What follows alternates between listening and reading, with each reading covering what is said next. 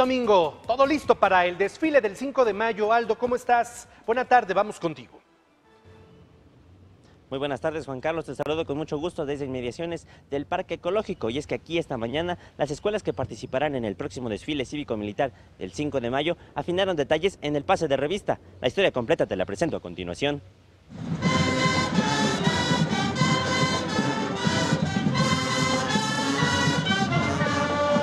Ellos son quienes darán vida a la conmemoración más importante en la historia de Puebla. Este viernes se llevó a cabo el pase de revista con 16 de las 32 escuelas que se preparan para ser parte del desfile cívico-militar del 5 de mayo. Es súper importante y es una preparación ardua, continua, de mucha disciplina.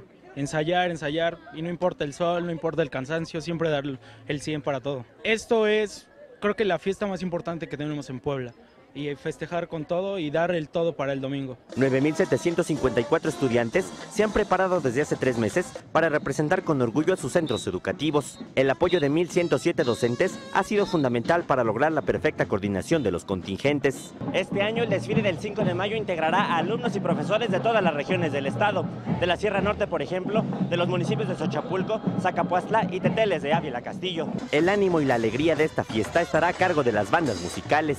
Por ello a Leonel López su pasión por el saxofón lo motiva a hacer un buen papel y darle ritmo al desfile tras el gran esfuerzo que junto con sus compañeros ha realizado. Su sonido, su presentación es muy elegante, por eso me gustó. Sí fue un poco difícil estar viendo las canciones, estar apoyando a mi sección y en especial apoyando a la banda de Co. Me siento para el 5 de mayo pues muy bien, la verdad. Vale demasiado la pena, son experiencias que nunca vas a olvidar y que siempre te van a seguir por el resto de tu vida. Estos jóvenes estudiantes entregarán todo su entusiasmo para agradar a las más de 30 mil almas que el próximo domingo victoriarán cada uno de sus movimientos.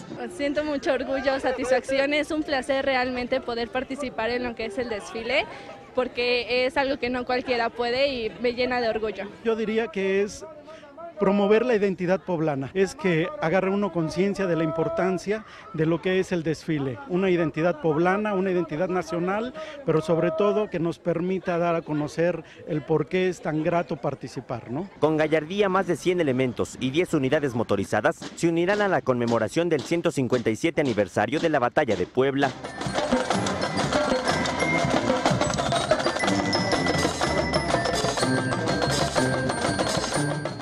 Juan Carlos, lo más valioso de estos jóvenes estudiantes es que durante los últimos meses han alternado el estudio y la ardua preparación que el próximo 5 de mayo les permitirá estar muy presentables en el evento más importante para el estado de Puebla. Este es el reporte, Juan Carlos. Yo vuelvo contigo hasta el estudio. Muy buenas tardes a todos. Muchas gracias, Aldo.